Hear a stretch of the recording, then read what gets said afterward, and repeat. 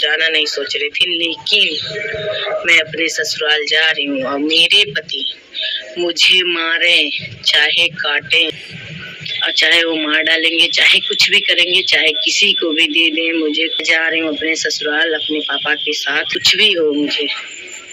उसका जिम्मेदार कोई नहीं होगा आपको पता है अच्छी तरह से मेरे पति होंगे क्योंकि हम उन्हीं के लिए जा रहे हैं